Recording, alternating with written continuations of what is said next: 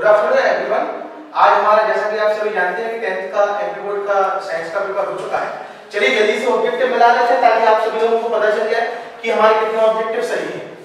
स्थान पृथ्वी के कोण की त्रिज्या 3400 किलोमीटर। हरा भरा एवं मामला तीनों का मिश्रण कहलाता है। त्रिफला। बृहस्पति। बृहस्पति सौर मंडल का सबसे बड़ा ग्रह है आर्यभट्टीय ग्रंथ के रचयिता आर्य भट्ट। और आखिरी एक अश्व शक्ति बराबर सात सौ छियालीस चलिए, अब सही विकल्प देख लेते हैं। सबसे पहला दिया है दूध का जमना है तो इसका सही आंसर है मंद अभिक्रिया। स्वस्थ मनुष्य के 25 सेंटीमीटर। विद्युत धारा का ऐसा ही मात्रक है, एम्पियर।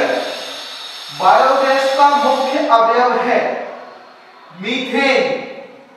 फेफड़े स्थित होते हैं, बक्ष गुहा में। ये आपके सही विकल्प थे। सही जोड़ी देखेंगे। रक्त समूह, सर्वदाता। रक्त समूह ओ सर्वदाता ई सही आंसर।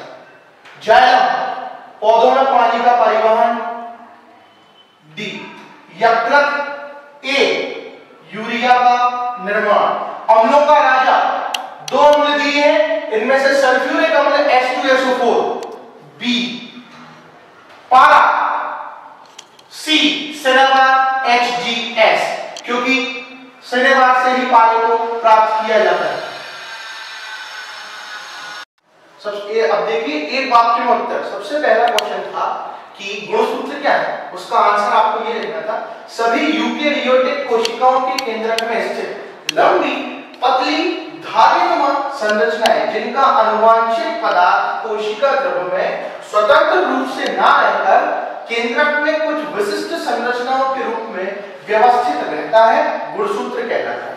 ये आपका पहला अगला देखिए, आंवले के फल में किस विटामिन की अधिकता पाई जाती है? आंवले के फल में विटामिन सी की मात्रा अधिक पाई जाती है। तीसरा क्वेश्चन था कार्बन की संयोजकता लिखिए।